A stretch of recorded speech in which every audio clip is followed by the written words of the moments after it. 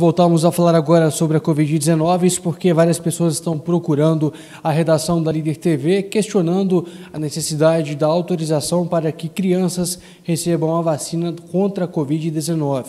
Nós procuramos a Prefeitura Municipal e a Stephanie Lohane conversou com uma pessoa responsável pela Prefeitura na manhã de hoje, que detalhou o motivo por qual essa autorização é requisitada, já que se tratam de crianças e, por isso, são menores de idade. Confira.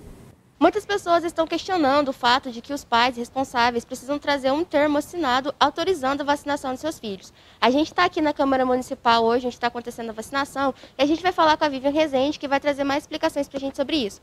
Vivian, essa nota técnica do Ministério, ela serve também para dar um respaldo para vocês, profissionais da saúde, na hora de aplicar essa vacina, né?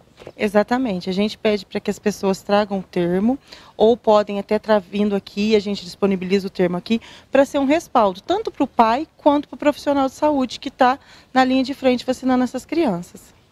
Certinho, muito obrigada, Vivi, pelas suas informações. Pessoal, lembrando que esse termo, ele é necessário para essas crianças que estão vindo aqui, não é simplesmente para as crianças que estão vindo desacompanhadas. Agora a gente está vacinando crianças de 5 a 11 anos de, a 11 anos de idade, e mesmo estando com os pais, é necessário estar tá trazendo esse termo aqui na hora para você poder receber a, a vacina, com vocês aí no estúdio.